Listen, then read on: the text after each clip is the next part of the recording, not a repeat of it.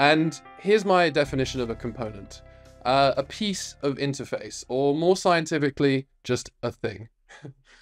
In fact, there is this whole website dedicated to components, and it's called component.gallery.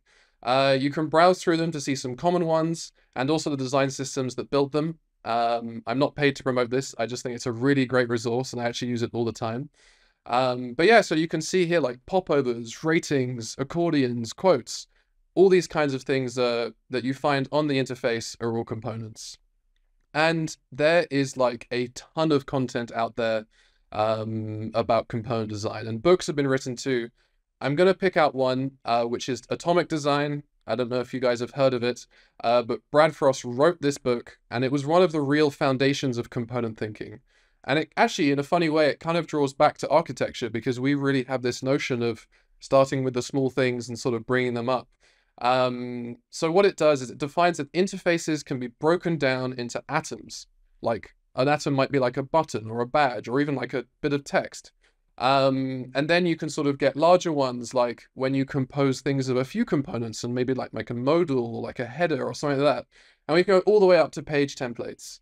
Um, but what I've really found actually, and in more recent thinking, and I've seen in the industry, this is kind of the direction that we're going, is a way flatter structure.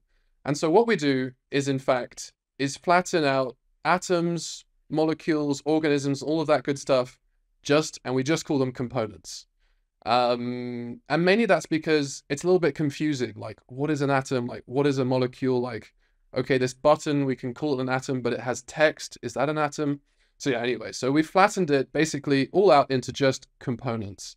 And then to go one level bigger, we have design patterns. Now, design patterns are a little bit difficult to define uh, but it's basically how to use components to achieve user flows. Filtering is a great example here.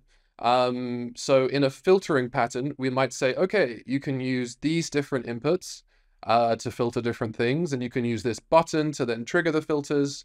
You can use this kind of like recording to say, this is how it's working, um, and all that good stuff. That's a design pattern. And finally, at the sort of top level, we have screens, uh, which would be like an entire app template or something like that.